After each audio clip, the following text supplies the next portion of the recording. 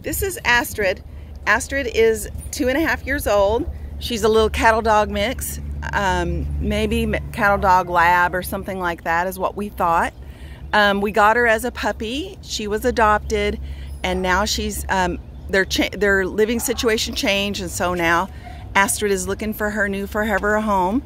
Astrid is a little bit on the shy side. She's going to be better in a quieter home. So we think an older couple, um, an older single person that just wants a companion dog, okay? You don't need a social butterfly. You don't need somebody that's going to go to Starbucks or your work or, you know, to all these dog parks and, you know, all these different places, but somebody's just going to be your companion at home.